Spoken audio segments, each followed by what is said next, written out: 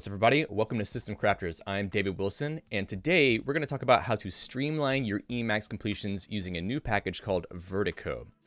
So before we talk about Vertico itself, first of all, let's talk about uh, completions in Emacs and uh, sort of set some context for why Vertico is interesting.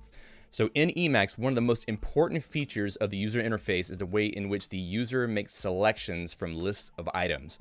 For example, whenever you use find file to open a file, or if you want to switch buffers, or maybe if you're using the meta X key binding to uh, execute commands.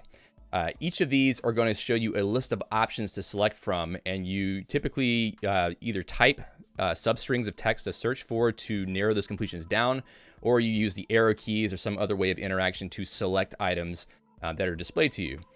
So there are a few different built-in packages like iDo, iComplete, etc., which provide different ways of displaying these selections whenever you have a command that provides completions. Uh, but in my opinion, most of them aren't very attractive and they can be a little bit hard to get used to, I suppose. So uh, these days, many people use completion frameworks like Helm or Ivy, which provide enhanced interfaces which are a bit more user-friendly, and they also provide special commands that provide a lot of uh, additional behavior. So uh, commands that can be run for selections or maybe like customizing selections in certain ways. They're very featureful, but at the same time, they're sort of heavyweight and not necessarily the most efficient way to, uh, to use completions in Emacs. Uh, but what if you don't use all of the extra functionality or if you don't want it really, if you want to have you know less code that gets loaded in your Emacs configuration? This is where a new breed of completion interfaces comes in, uh, namely Vertico and Selectrum and other packages like that. Uh, and they all provide a more minimal and componentized ecosystem of packages that allow you to build your own completion framework with only the parts that you care about, the things that you actually want to use. Uh, so I've been using this package called Vertico for this purpose recently, and I really like it. So I wanted to give you a little bit of a demonstration of Vertico and tell you how you can set it up for yourself if you want to try it. So Vertico is a relatively new Emacs package which provides a streamlined interface for mini buffer completions, which doesn't include any of the other cruft that usually comes along with the more heavyweight third-party options like Helm and Ivy, which we mentioned before. Uh, one important feature of it is that it plugs in directly to Emacs' own completion engine, unlike Helm and Ivy, which kind of have their own layer added on top. So with Helm and Ivy, typically you're using their own uh, system for doing completions. It may interact with the low-level completion engine, but there's a lot of extra machinery that go on top to provide things like, you know, previewing selections or lots of other things like that where you um, may notice some more slowness or maybe just, you know, extra stuff that happens while you're trying to do your completions. Uh, so this enables all, so the fact that Vertico actually hooks into the native completion framework into Emacs means that all existing completion commands in Emacs will use Vertico's UI when you turn it on with no extra configuration. If you've used Helm or Ivy before, typically there's extra config that you have to do to make that work. But with, with Vertico, you just download it and you turn it on, you, you start Vertico mode and everything just starts working. So if you want to learn more about Vertico itself, definitely check out the uh, repository at GitHub. Uh, this package is created by Daniel Mendler, who's also known as Minad. You've probably seen him around on uh, the Emacs subreddit and other places, uh, probably the Emacs IRC chat. Uh, but uh, he's very prolific these days making these kinds of packages. So let's talk about how to set it up. Uh, so it's very easy actually. This package is on GNU ELPA, which you can use easily with package.el and use package. So all you have to do is just copy this little bit of uh, configuration snippet here. We're just going to use package on Vertico. We're going to use ensure T to make sure it gets downloaded if it's not there already. And we're just going to run Vertico mode uh, to initiate the completion interface. Uh, so what I'm going to do is jump over to a more vanilla configuration and I'm going to paste this line in just so that we can uh, try it out. So, okay, before I actually try to run Vertico, I realize I should probably show you what the default completions look like before we show what Vertico looks like so you have a, a frame of reference. So in vanilla Emacs configuration, if you were to use Control X, Control F to do find file, uh, I could start to uh, do the completion in my current folder and press Tab and press it again, and then we get this pop-up window that shows you all of the possible options inside this folder. Uh, you can either click on an item to complete the selection, or you could keep typing something like D and press Tab again, and keep pressing Tab until you eventually get to what you finally want to complete. So uh, it gives you this separate little buffer that pops up, and nothing really in the mini buffer area to help you with, with your completions. So now that we've done that, I can show you what it looks like whenever you turn on uh, Vertico mode. So I will use Control X, Control E at the end of this configuration here to then install Vertico and turn on Vertico mode. And now if I use Control X, Control F, it will show me a more a larger area in the mini buffer because now Vertico is filling in that mini buffer area uh, with a full interface for selecting items that are here. So in this case, I can use the up and down arrow keys. I believe I can also use Control N, Control P, this, this typical uh, line navigation key bindings in Emacs. And I can select anything uh, here. So I could select init.el, then press enter. Um, I can also use Control X, Control F, and then uh, type something like, let's say E, and then it starts filtering down the selections based on what I typed in. I type in S, and then we see E shell. I press tab, it completes that, and it continues on. So in my opinion, this is a much more efficient interface for selecting and navigating selections uh, because it's uh, it basically just gives you the the normal navigation keys you're used to and also makes it so that you can type in uh, substrings to select on. And that substring selection can be customized further using other packages which we'll talk about later. Uh, also things like selecting buffers. If I use control X control B then we automatically get a new um, uh, completion that we weren't getting before. Usually you just have to type in the buffer name yourself, but now you actually get a list of buffers to complete.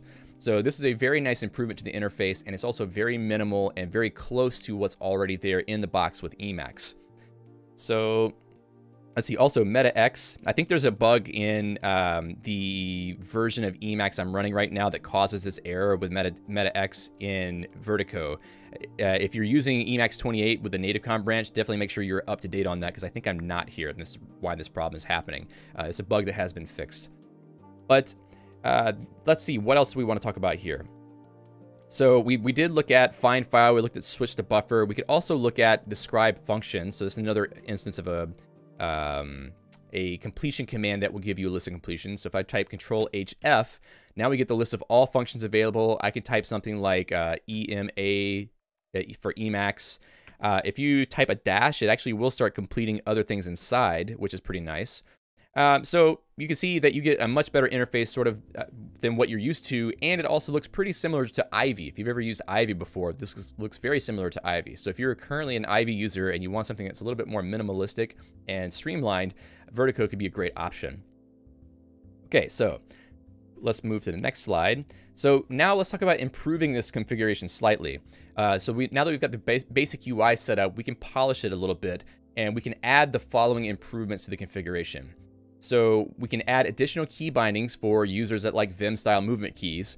As you can see, we have a bind section here that is binding Control J, Control K uh, to next and previous on the, the, the vertico next and vertico previous commands. Now, you may not like these key bindings. They may override other key bindings that you're, you're used to using, but I'm just using this as, as an example to show you that it's very easy to uh, rebind the keys or bind new keys for these movement commands in the, the completion list using the Vertico map key map. Uh, you can also set bindings in the mini buffer local map because it also basically derives from that. So if you wanted to add some extra bindings for line editing of the uh, the mini buffer input, then you can set it here. Uh, I'm setting backward kill words, so it's easier to just delete words backwards. I like the I like the meta H key binding for that. Um, also, I, another option that was added recently is this vertico cycle option. If you turn that to T, then what happens is that whenever you use the navigation keys to move up and down in the selections, if you reach the end or the beginning of the selections, it will wrap around back to the beginning. And that's something that I think is pretty common with Ivy. I, I got used to that from Ivy, so I actually asked the creator of Vertico to add this, and he added it in probably about an hour. So it's very nice to, to have this functionality. I'll show you how that works in just a moment.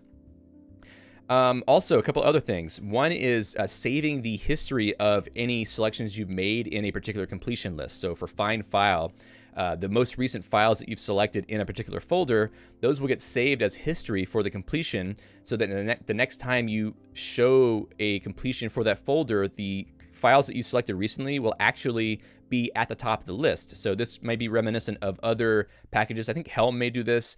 Uh, with Ivy, you can do this with um, Smex and with um, prescient.el, but this is something that's already built in. This is some functionality that's in, in Emacs with this savehist package that's built in, and Vertico just uses this built-in functionality already to provide similar behavior. So it's really nice that it can do that.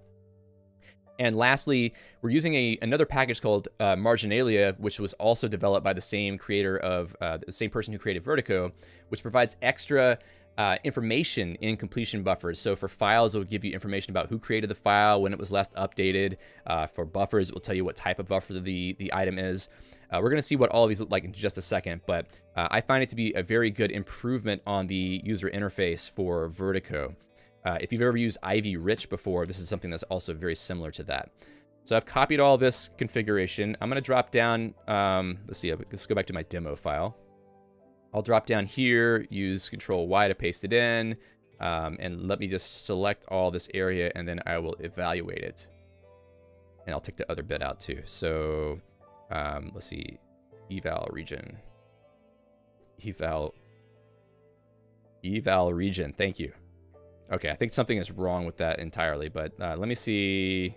I'll just run each of these individually. I know it's a little bit ridiculous, but I've got other problems right now. Okay, so I'm turning on savehist mode, and I'm also going to install Marginalia and uh, run that. I believe Marginalia is also on uh, GNU ELPA. Okay, so now if I were to use Control X, Control F, you'll see that I get all this extra information here about the files that uh, you can't you can't really see because I'm in the way. Let me turn off my webcam for a second. But uh, over on the right-hand side uh, of the completions, you see even the um, the permissions of the file, the creator of the file, and the group of the file, the size of the file, and the, I think this is the last updated date, which is kind of nice to have. Uh, so you can very easily see that when you're navigating through buffers. Uh, also for, oh, sorry, navigating through files. So for navigating buffers, you can use uh, Control X, Control B, and now it will give you information about, I'm not sure what these symbols mean, but I think they have some meaning in Emacs uh, probably about the position of the buffer and whether it's edited or not. Uh, also the, the size and memory, I think, of the buffer, and also the mode of the buffer. So that could be useful for that. I think there are other types of um, completions that get metadata there as well, and it's also very possible to add your own metadata if you want to. So uh, it's a very cool package to use for this purpose. Uh, for savehist, uh, let's see. Let me use Control X, Control F here. Uh, I think these two are already saved as history right here, the, the init.el and demo.el. If I go to emacs.org here, and it, now that file has is getting opened, I think it's doing something here. It's taking its time to do that for some reason. Okay, so now if I use Control X, Control F, uh, emacs.org is now pushed to the top of this list because it's something that I selected recently. Um, I think it doesn't happen for selecting buffers because it already has some behavior for that. However, for something like describe function, it can be pretty useful. So let's describe uh, Vertico next. So it's going to pull up the docs Vertico next. I'll just close this out with Q. And the next time that I run uh, Control X, Control F, describe function, Vertico next will be the top item in the list. So automatically you get this extra nice functionality for remembering the history of things that um, you've selected in previous selections for specific commands. So it, even to the command level, it remembers, remembers these things. All right, I think that's it for those things. So, oh, the one thing I didn't show you yet was uh, Vertico cycle. So if I were to uh, try to show all the buffers, if I press up, it will move my cursor into this, um, the, the area to type in. But if I press up again, it will go down to the bottom and I can just keep going up. And if I want to go down, I can go all the way down and then cycle back to the top. So I find that to be useful sometimes if I know that I want to go towards the end of the list very easily because there's some item down there that I want to select. Um, it can be very useful th for that. All right, so are there any downsides to using Vertico? Well, there are a small number of downsides at the moment. Uh, first of all, you have to do a little bit more work to configure something that provides similar features to Ivy or Helm. But honestly, that's the point. The point is that you are taking all of the pieces that you want and putting them together. So if you like to customize your config completely and pick all of the pieces that you want, then Vertico is going to be a great starting point for your completion system uh, because it only just provides the UI, it doesn't provide anything extra on top of that.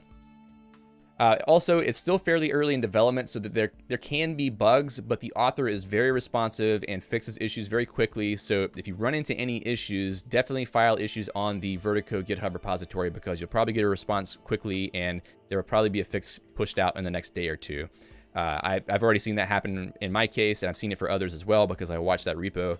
Uh, so definitely don't let that be something that discourages you. In fact, since this package has such little functionality compared to other packages, I don't think you're going to run into major issues that last for a long time because there's just not that much surface area for bugs. Uh, the last downside is that the performance for completions in Tramp sessions is poor. So if you use Tramp for uh, editing files remotely and you need to be able to navigate into folder structures on remote systems, uh, the performance can be poor compared to other things like Ivy or Selectrum, and that's because there's no caching being done for all the completions on the remote system.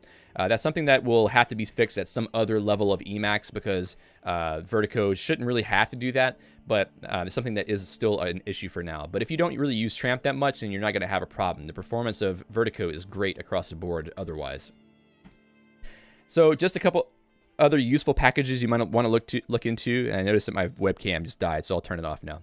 Uh, some other useful packages you might want to look at are Consult. Uh, Consult is a list of commands uh, like Counsel for Ivy, which provides additional completions on top of uh, what's already built into Emacs.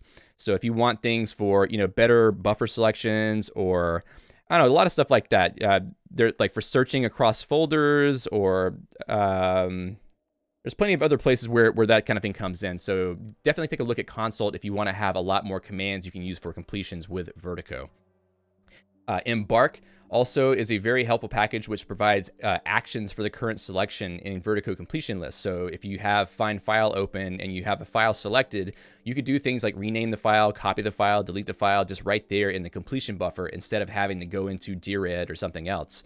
Um, uh, Ivy provides this kind of functionality, so does Helm, so you can use Embark to add this to Vertico to provide the same kind of functionality.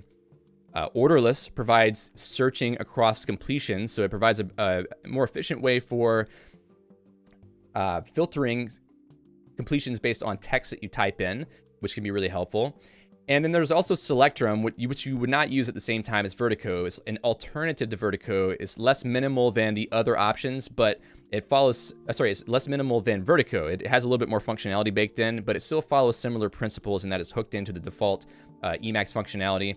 So if you run into issues with Vertico, you could try to use Selectrum instead. But as far as I've found, uh, Vertico has been great, and I haven't had to use Selectrum for anything. So I'm definitely planning to cover all of these items in future videos. So if you're interested in this area, please uh, subscribe to the channel so you can see the, the next videos that come out uh, in the coming weeks. Uh, before I go, I'd love to thank my sponsors. I don't know why that is a black screen showing up right now. Um, uh, these people have decided to sponsor the work that I'm doing, creating videos about Emacs, GNU Guix, etc., and I'm very thankful to them for their support. If you're interested in becoming a sponsor of the videos that I make here, please uh, look at the links I have below in the description. I'm on both Patreon and GitHub sponsors, and I have a link to PayPal for one-time tips. You can also do one-time tips on GitHub sponsors these days, which is great.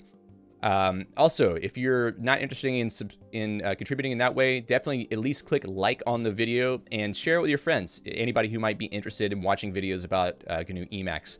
Uh, the more people we have watching videos here and joining the community, the more people we'll have to talk about all this fun stuff with. So I think it'd be great to have more people finding out about it. Uh, so until next time, I hope you enjoyed learning a little bit about Vertico.